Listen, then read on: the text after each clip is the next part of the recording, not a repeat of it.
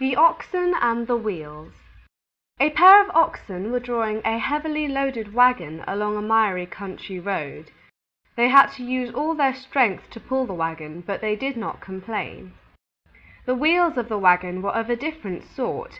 Though the task they had to do was very light compared with that of the Oxen, they creaked and groaned at every turn.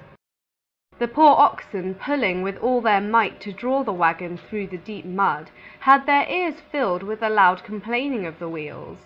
And this, you may well know, made their work so much the harder to endure. "Silence!" the Oxen cried at last, out of patience. "What have you Wheels to complain about so loudly? We are drawing all the weight, not you, and we are keeping still about it besides." They complain most who suffer least.